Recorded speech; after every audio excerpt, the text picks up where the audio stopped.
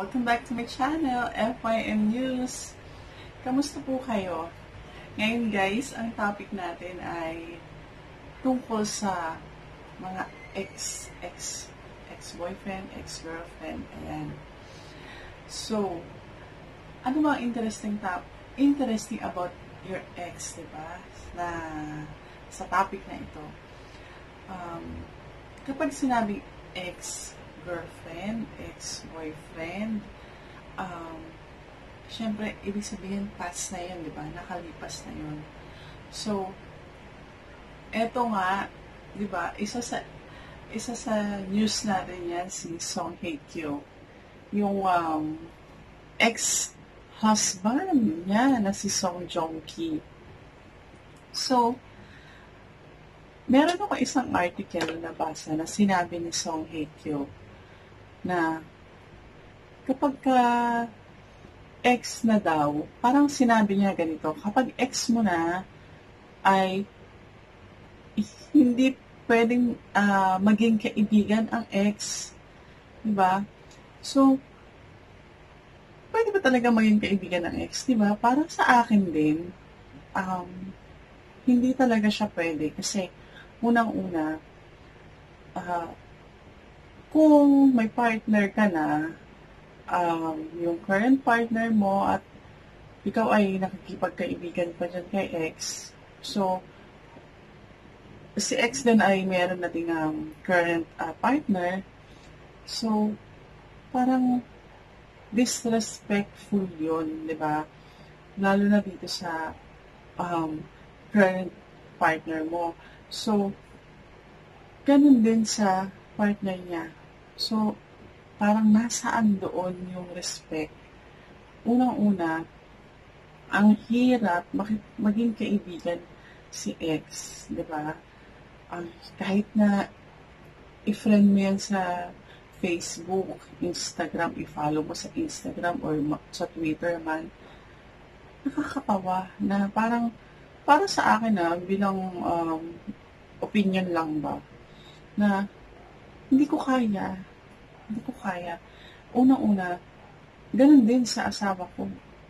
Let's say, may ex siya, tapos follow niya sa, sa Instagram, or let's say, friend niya sa FB. Ay, hindi yun pwede sa akin, syempre. Magagalit ako. Magiging cause yun ng jealousy. Magiging cause yun ng away, ng anger, ng hatred, di ba? So, paano mo ngayon ba kaibigan yung ex mo, di ba? Para mas tahimik ang buhay, tahimik pareho sa part nyo ng ex mo at ikaw, mas magandang wag mo na siyang i-add sa FB or i-follow or or kaibiganin pa, tama na yun. Di ba? Pass na yun. Kalimutan mo na. Kumbaga, hayaan mo na siya, di ba?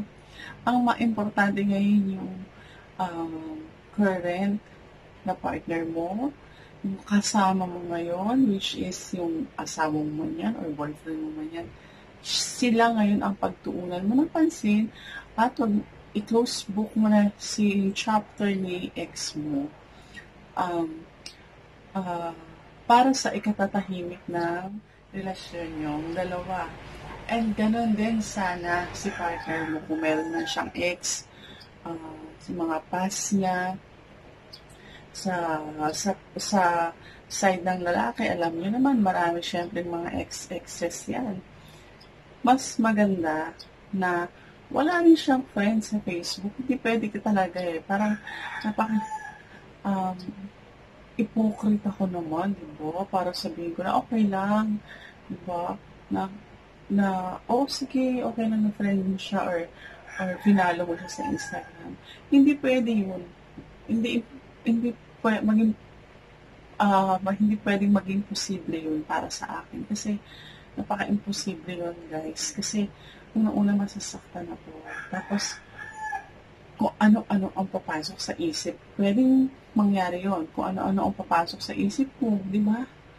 Na baka pwedeng ma-chat pa niya yan, di ba? Pag-usapan nila yung past nila. So, I'm sure na uh, the best talaga na hindi mo i, i, i friendship ng mga ex na yan. Um, mas magiging matiwasay, mas magiging um, uh, maayos ang flow ng relationship current relationship mo with your boyfriend or sa asawa mo, asawa mo man siya, mas magiging maayos ang pagsasama nyo kung walang mga ganitong sabit-sabit na mga excess na yan. So, yun guys, um, yung, yung ano, yung mga opinion ko, ito yung nararamdaman ko eh. Ito yung nangyayari sa akin. At para sa akin, ito yung the best. Kaya, I hope guys na sana kahit pa paano may na-share ako sa inyo maayos, uh, maayos na mga payo or advices na alam ko guys na wala namang masama sa mga nasabi ko or sinabi ko. So, yon Thank you so much sa inyong panonood at sana ay nagustuhan po ninyo ang ating topic for today. I hope guys na mag-subscribe po kayo. Patuloy po kayo susuporta sa channel natin at patuloy po ninyo i-share, i-like uh, ang ating channel. Salamat po sa panonood. Thank you so much guys. Guys, till next time.